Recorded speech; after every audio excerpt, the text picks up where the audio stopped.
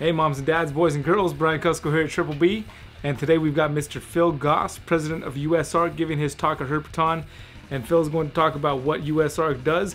If you watched a vlog I put out recently, you can find a link down in the description uh, talking about the recent bill that's passing in Florida that USARK is filing a lawsuit to fight. Then you know that USARK is a very important part of our reptile keeping hobby. We wouldn't be doing very well without them. So allow Phil to tell you exactly what it is USARK does you can learn a little bit, and uh, you're watching Triple B TV.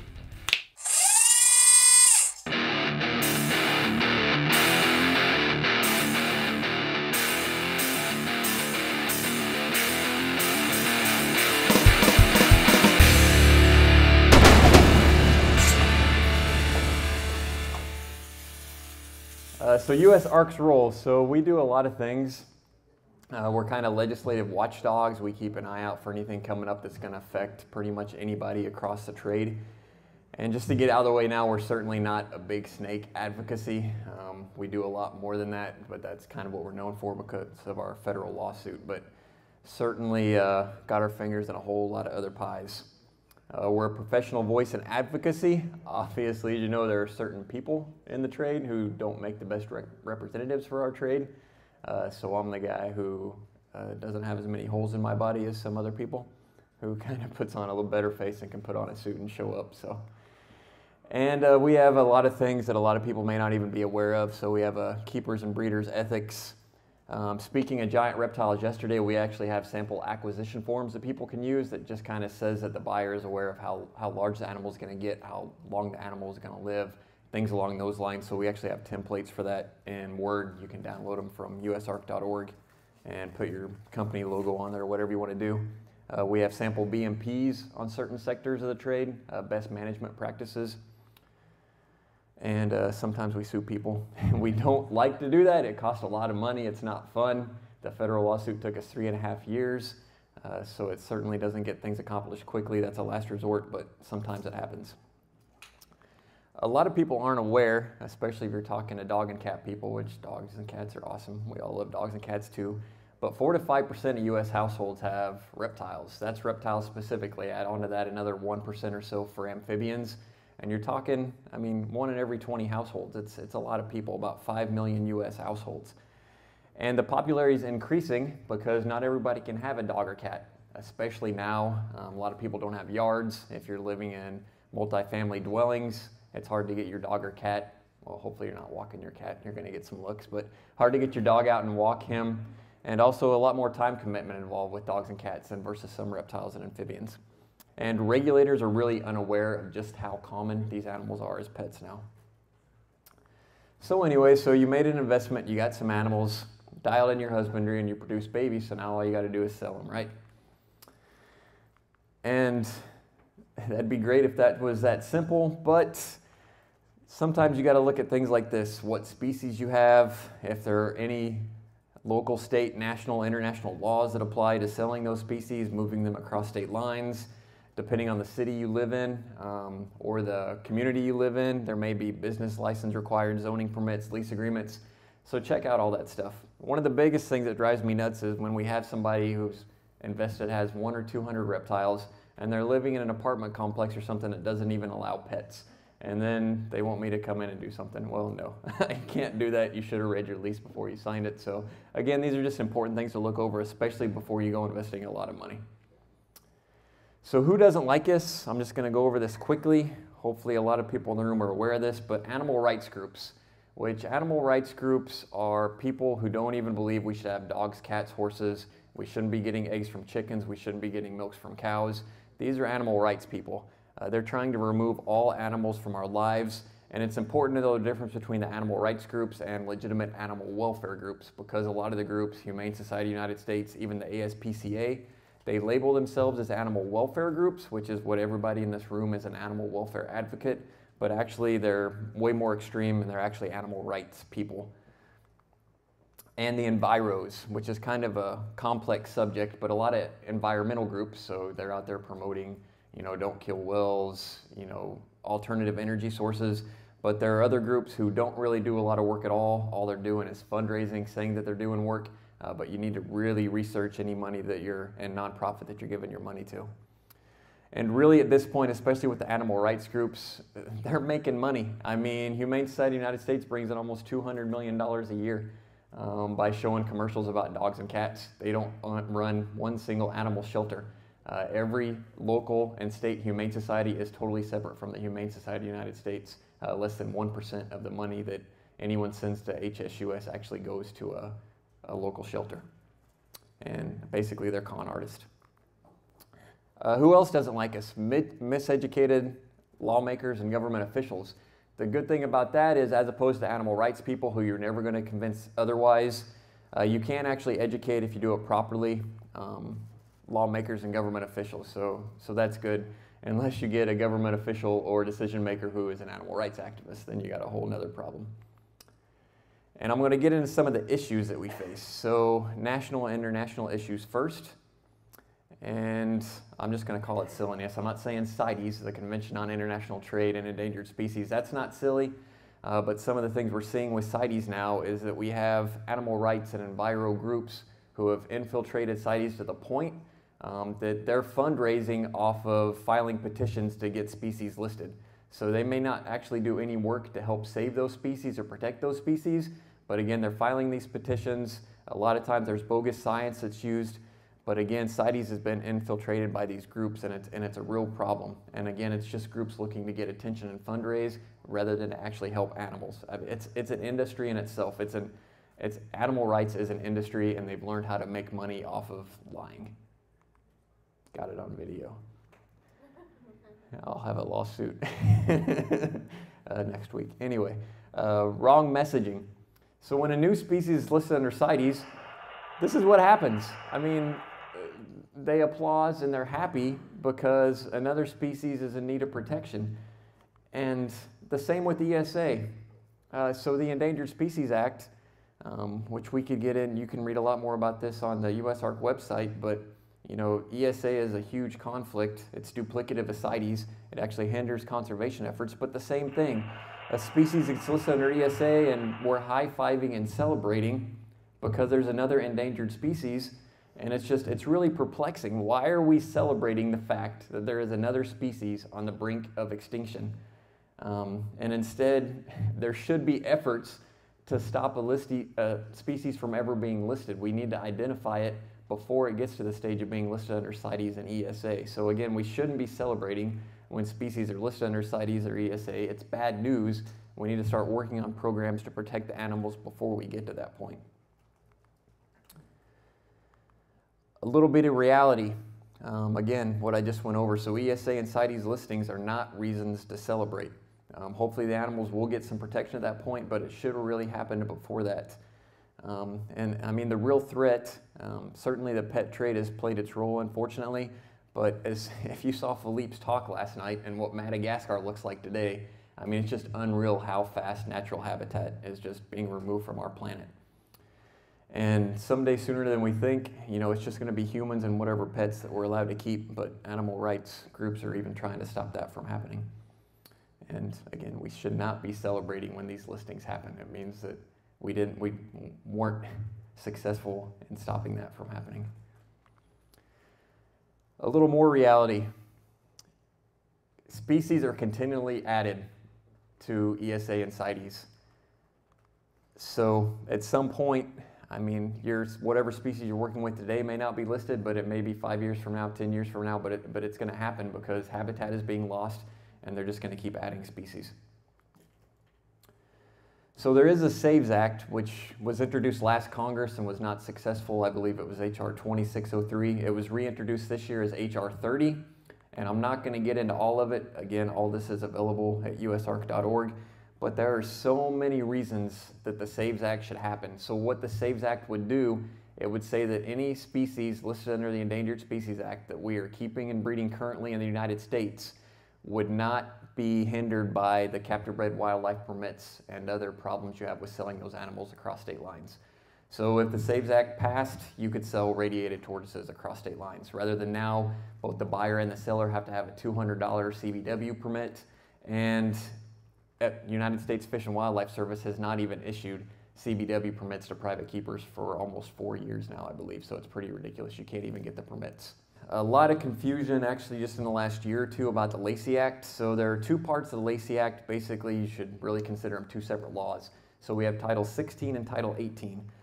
Where the confusion has come in recently, uh, specifically with Brazilian and Australian species, is the fact that Title 16 of the Lacey Act actually gives the United States Fish and Wildlife Service authority to regulate foreign policy, which basically gives them authority to say this animal may have been smuggled out of Brazil. Brazil has tell, told us that we have never exported that species, and now you're going to move that species across state lines in the United States, and we're going to cite you for it. So it's a little bit of a, of a mess as compared to Title 18. So the confusion came in. People thought USARK won the lawsuit. We can ship these animals across state lines. But Title 18, again, is basically a separate law dealing only with injurious species. That's where a lawsuit applied. So since USARK won our lawsuit, now you can ship the nine species of big snakes that are listed as well as the 201 species of caudates across state lines. But that has nothing to do with the Title 16 FWS enforcement of foreign policy. And in case you missed it, a couple years ago, uh, the National Federal Appellate Court said that we agree with ARC. That was actually in the court decision, that quote. And it's kind of a big deal. Again, it took us three and a half years, but we did win that lawsuit. Originally filed because of big snakes, but now you can also ship 201 species of salamanders and caudates across state lines because of that. Some of you saw me out in the lobby working. This is what I was working on the last two days. So we just got the language for this on Friday, um, an acronym should make something easier to say. It really doesn't apply in this case. Um, but this is the acronym they're using for this bill. It's the Traveling Exotic Animal and Public Safety Protection Act. So again, we just got the language on Friday. The press release was over two weeks ago, and we had to wait around for the language. Um, HR 2863 is the bill number, so this is a federal bill, and it bans traveling animal performances. And all of us think, yeah, that probably is not going to affect me. I don't really care. Animal rights groups sell it as the end of burning elephants with cigars and things like that is how they spin it. The way it's written, it trickles down to every person in this room. If you take whatever species you work with into a school, that's going to be illegal. If you put an animal into a car or van or any type of vehicle, transport it away from your facility to give an educational talk on it, it's going to be banned if this law passes. Whether or not it's actually enforced down to that level, I would say it's unlikely, but as it is worded, an enforcement officer could actually cite you for that, and you would be a federal criminal, which is just unreal. Who writes these bills? Members of Congress don't write this stuff. It is rare for a lawmaker at the, at the local, state, especially federal level and state level. They're not writing this stuff. This, these are written, so these animal rights bills are written by an animal rights group. They fish around through Congress to find somebody who will sign on as a sponsor and author for this. But just because you're called an author doesn't mean you wrote the thing. So the whole thing, if you read it, I mean, you can tell that there is no way that a member of Congress would even write this. And again, even that in itself is highly disappointing for a member of Congress to sign in that we're paying a lot of money to, to just sign on to this stuff because they're believing the propaganda that these animal rights people sold them is just extremely disappointing. I mean, Again, if you read this bill and saw the blatant lies, I mean, that member of Congress who signed on and sponsored this bill should just be removed immediately because it's, it's complete nonsense. And I got the action alert posted yesterday sometime, uh, so you can check it out at usark.org. So it's at the front of our homepage right now. Um, at this point, it hasn't been read, it hasn't been introduced to a committee yet. So most bills don't pass. Um, this is not the first time we've seen this bill, uh, but it is something to be aware of. And going back to that quickly, again, it's not written to apply to this, but there's also a concern that even taking animals to reptile shows so that basically there's an audience of people who are coming to see those animals, it could even trickle down to affect reptile shows. So again, it's something we need to be concerned with. So moving on to state levels. So something USARK does every morning is we get email alerts. So I have search words, uh, injurious species, invasive species, for example. So any state or federal bill that comes up with one of those words, um, every morning I check my email and go through the alerts. Uh, get my cup of coffee and I do that. Um, so depending on uh, the time of year, so legislative season basically runs about the same as tax season, the height of it. So you're looking, you know, mid-January through April or May. Depending on the day, you know, I may spend five or six hours a day just going through and making sure that these bills don't apply to us or don't affect us. And then if it doesn't affect us but may affect some mammal people or other exotic animal owners, you know, I'll contact them and send them to that. Uh, so dangerous wild animal laws, that's another one you think, you know, it's not going to apply to me, I'm keeping geckos. So the West Virginia example, so that law passed, I think it was 2014. At one point, it included over 10,000 species of animals. Um, basically, anything that was non-native to West Virginia was considered a dangerous wild animal, which was just unreal. Um, we got all reptiles removed from that except for Komodo dragons. So if you're a Komodo dragon keeper and you're upset, you can send me an email. Uh, but that's the only reptile or amphibian that remained listed on West Virginia's Dangerous Wild Animal Law. Uh, Traveling Animal Acts, so I mentioned this earlier, uh, California. So it didn't affect us, it only included crocodilians, which are really hard to, to keep in California through permits anyway. Um, but it was USARK who got the alert and posted it, and then I reached out to the affected stakeholders who were mammal and other people who do educational programs with animals and alerted them to that Traveling Animal Act. ESA and CITES, CITES misunderstandings. A lot of states don't understand what ESA and CITES are, and they put bad laws in place. So actually, the last time I checked, there are 26 states where it's even illegal to own a species that is listed under, under the Endangered Species Act. So not just illegal to breed it or sell it, it's actually illegal to keep it. So I don't actually know of that law being enforced anywhere, but again, it's, it's on the books and it, it's kind of scary. Um, Arizona, we stopped it four years ago. It just came up again this year, and thanks to James Badman, um, I worked with him and he worked with some other affected stakeholders in Arizona, so we stopped it again this year. But again, this is something that we're seeing today. New Mexico, uh, Senate Bill 38 was this year too. It would have banned breeding and selling of any CITES 1 listed species. Uh, we actually stopped that. And I won't name the, this was another one. The legislators don't write these things. It was a, a nonprofit a charity and environmental group who wrote it. And I talked to the person who wrote the bill on the phone. And I am not going to stand up here and say that I am a CITES expert, but it was unreal the things I had to correct the person who wrote the bill on about CITES. It was just, he was as inaccurate as he could be and thought he understood CITES and, and didn't understand a darn thing and didn't understand the implications of the bill if it passed, but it didn't. At the local level, so as opposed to state, which really has a, you only have a handful of states that have a full year session, most of them are over by about May. Local ordinances can pop up at any time, so you always got to be watching for those. Really, the best way to monitor them is if your city has a website, you can check the agendas every time that your city council or whatever has a has a meeting. Uh, watch the newspaper. I usually find out about them because an article gets posted in a newspaper and I'll get an alert via email. Uh, since I believe he's in the room, or at least he was earlier, so uh, Stahl Exotic Animal Veterinary Services stepped in, and that was hugely beneficial in Arlington, which Arlington is a major metropolitan city right across the river from DC. What happens in Arlington, the whole country watches things that happen in Arlington. It's just, it's a major city. And it was a really overreaching exotic animal ban. It was even going to ban uh, ferrets and hedgehogs. Uh, I believe at one point it was snakes over four feet that it was going to ban.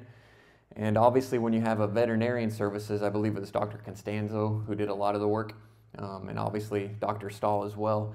But you know, I can come in and talk to these people, and usually that works well. But when I have, when I'm being backed by veterinarians, obviously that lends a huge, huge benefit to what I'm telling them. And this was something that was pushed by the Humane Society of the United States and in front of my face, it's just unreal. I mean, they were in there, they've done the same thing in Florida. They tell the legislators that USARK is a, how do they word it? Well, they say that I'm a, I'm a high powered, well paid lobbyist, which, anyway.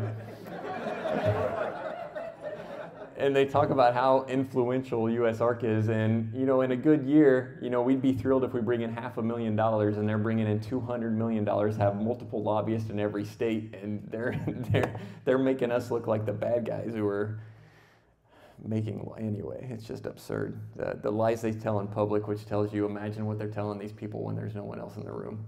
Uh, just like last week in Arkansas, there actually wasn't an alert about this but some stakeholders I had worked with because I was working on some state Arkansas stuff.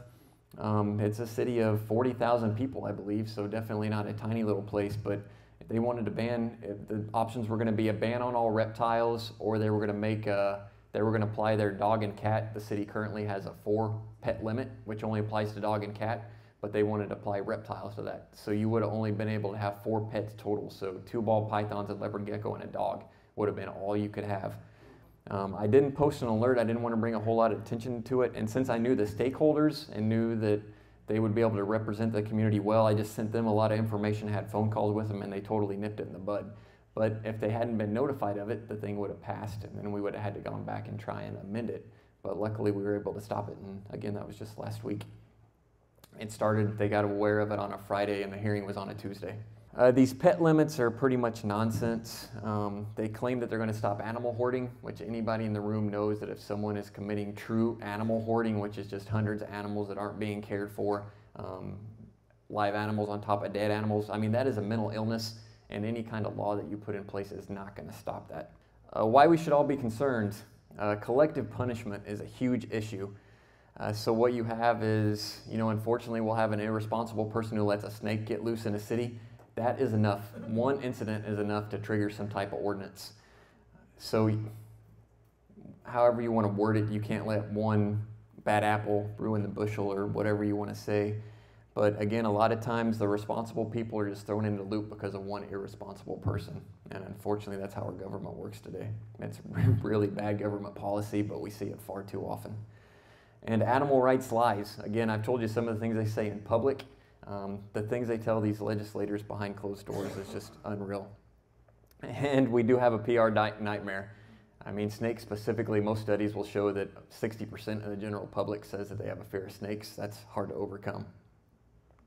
And obviously, when you're dealing with groups who bring in 500 times more money than you, they have a lot better public relations than we do.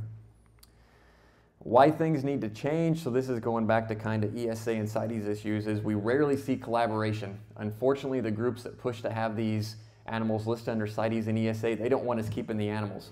Uh, so we don't have any collaboration. It's hard to get government groups to work with us. I mean, we've heard examples at Herpeton about how people were willing to donate 100 or 1,000 you know, captive bred animals to help repopulate, and there's just so much red tape that it's hard to even get collaboration with, with whatever government, whether it's state or national, whatever it is, but it's, we just don't see enough collaboration. And again, to mention Emmanuel's talk and how Madagascar looks today, the wild really no longer exists, especially here in the U.S. Um, I haven't traveled at all really abroad, so, but I'm sure the same is true pretty much across the globe. And you know, we're the real issue.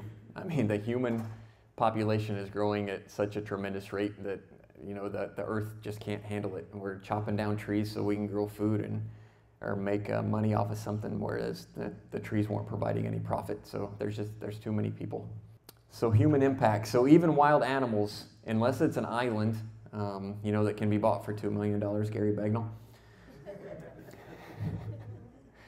uh, if you know if there's a larger landmass even wild animals, even if we can preserve a thousand acres or 10,000 acres, it's still going to be surrounded by road.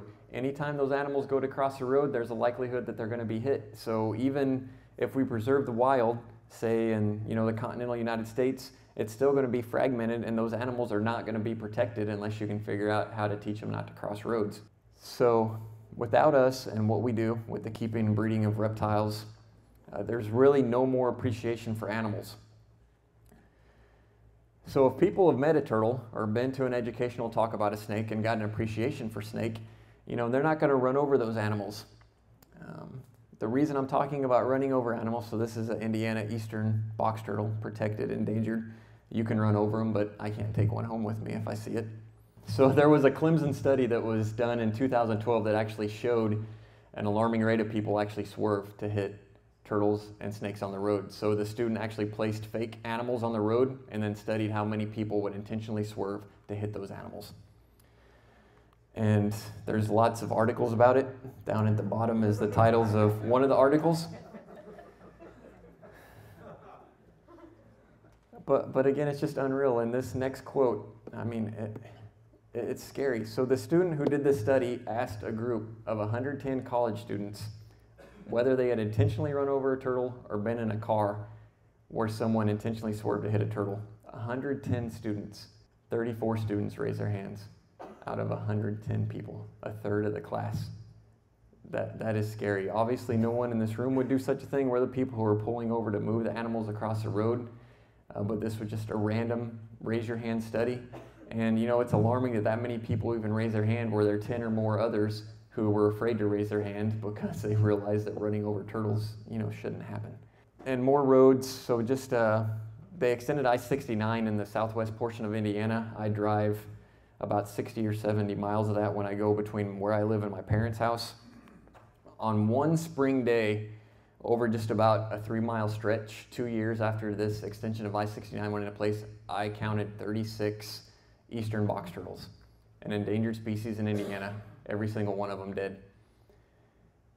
So again, how much, how many turtles the construction itself killed, and now we have this road going through it. The speed limit is 70. Um, my odometer's broken my car about 85 equals 70 in my car. Anyway, um, but again, you can imagine people going this quickly. You know, they're not probably hitting them on purpose, but again, just over a three mile stretch to have three dozen dead turtles. Um, I had to drive it actually on my way to the airport for this. I didn't see a single, I guess the box turtles just happened to be moving. This certainly isn't any type of, you know, scientific data, but in that road area where I saw the three dozen dead turtles, I didn't see a single one. About 10 or 15 miles up the road, I saw two within about a quarter mile stretch that were still alive and getting ready to, to try and cross the road. Obviously, I got out and helped those, but doing that on this road obviously isn't much fun. And another thing, it's not even a well-traveled road yet. There aren't, there's not much traffic on this road, and just to see that many turtles is upsetting. And again, they're endangered. I can't breed them in my backyard, but we can run over them on the road. So this is another pretty scary sight. So if you've ever been herping in the Everglades, you know what you do. You go hit uh, the gate at about 10 o'clock whenever it gets dark, and you drive at about 10 or 15 miles an hour all the way down to Flamingo. The speed limit's actually 55, but if you're road herping, you don't go that fast. So this was two years ago, I believe. I went road cruising on it. This is an American crocodile that's not an alligator who was crossing the road. Um, you can imagine seeing that at 55 miles an hour. Somebody's going to get hurt or you're both going to get hurt. And there is just so much roadkill on this road. Again, so this is a, a federally protected nature preserve with a road going through it that has an immense amount of wildlife going across it, and the speed limit is 55 miles an hour and I've never once seen any type of police on this road. So people are driving even faster than that. They're hauling boats. Um, again, the amount of dead animals on it is absurd. There are so many dead animals that the birds of prey at night, so this is a nighthawk, um, they swoop down in the road and they even get hit by cars. So this was a nighthawk that went to swoop down to collect uh, whatever a dead turtle or dead snake that was in the road and it actually got hit by a car. Uh, just something we do. So this is a, just a Facebook post on our page, but it's pretty cool. It's got this was actually a screenshot from over a year ago. I think almost 400,000 shares. So what you can't see is we actually put down a whole bunch of things that you do when you do see a turtle crossing the road. You know, like if you can, you just move it across the road in the direction it was headed. It's got some safe handling practices, but again, that's pretty cool that we're getting some education like that out there. Again, without us, this is a little dude at a reptile show watching a David Attenborough video with his toy snake and his turtle backpack. So again, this is a little dude that's probably going to grow up to be a biologist or a conservationist that would not probably have gone that route if it weren't for reptile shows and the breeding and keeping of reptiles. This, I, I had to throw this in. I, I, I somehow find a way to work it in in just about every talk I give, but the absurd, this is Animal Planet. Animal Planet Eight, first, I mean, we have eight, 18 foot long boa constrictors, which has never happened in the history of boa constrictors. And if I have to tell you that's not a boa constrictor, you're probably in the wrong room. and then I, I, added this too. So, talking about snake length, we all have stories like this. Uh, so, I once bought a boa that was 10 feet long and 60 pounds.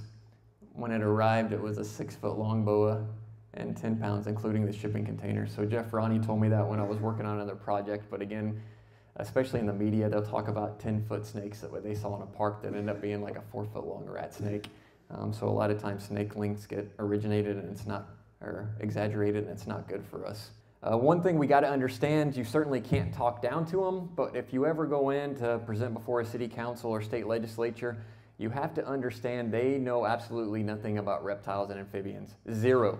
It can't be the same as when you're giving a talk here. They know nothing about snakes. They think snakes are slimy. They think all pythons get 49 feet long.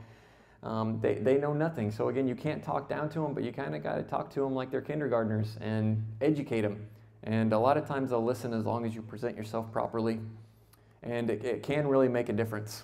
Uh, this is an example from the Georgia Reptile Society, a great slide just because they did a reptile outreach program. That is the mayor of the city with a boa constrictor around his neck. So obviously something like that, you're not going to have to worry about some crazy overreaching reptile ordinance happening in that city while that guy is mayor because he learned about reptiles. Uh, scout troops, another educational talk.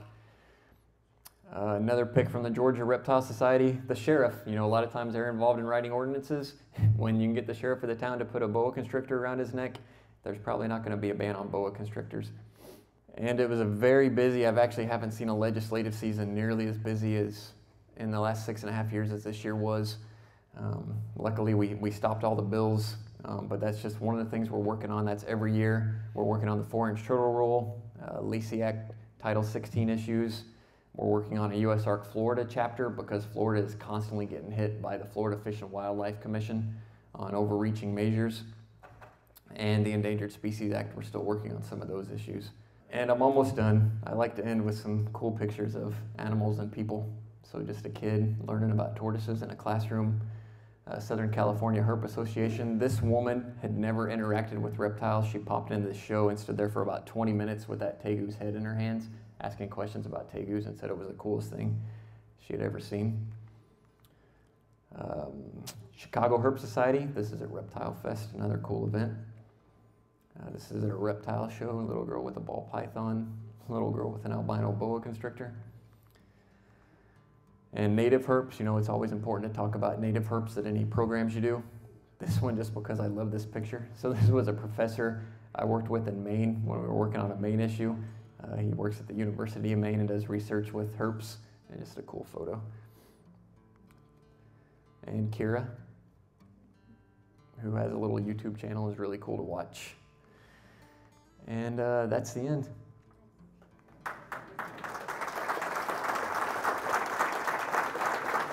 Thank you, Phil. We appreciate all the hard work you put in, man. Um, next week, we've got Emmanuel Van Hagen giving a talk on the Madagascar day geckos and how their environment is disappearing. He's got lots of great pictures and slides along with his presentation, so hope to see you guys there next week. Until then, you've been watching Triple B TV. Y'all take care.